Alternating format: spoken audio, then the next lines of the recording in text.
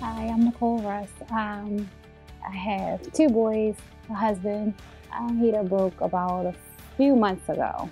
Just being able to get one because I went through so much. All of you know, me and my husband went through a lot trying to get financed and just trying to get one and even getting it fixed. And they just said that somebody had already tried to fix it. And, oh gosh, I just thought it was impossible. Thought we weren't gonna get one. So we had like heaters in all the rooms, which I don't like that, but that's what we were going through.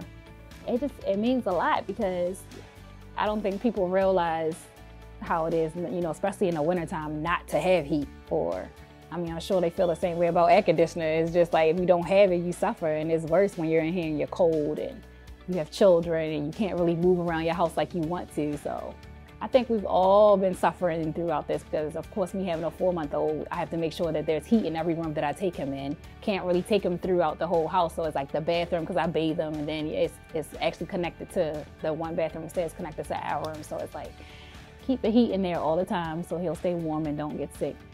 Then it's my older son who can't really move through the house either because he can't really go in the kitchen, it's freezing. Yeah, we, we had a lot of candidates. It's always tough to pick what we think is the best one, most deserving. They're all deserving. But uh, it was a young family.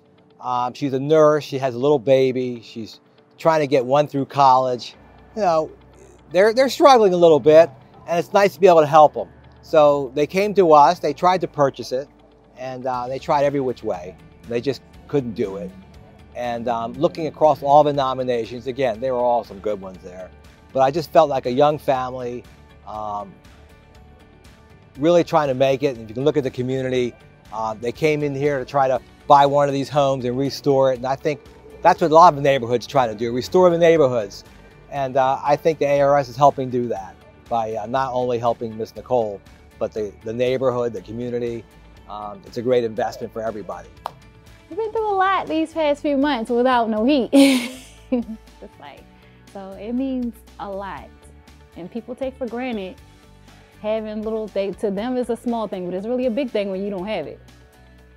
So I really appreciate it a lot, me and my family.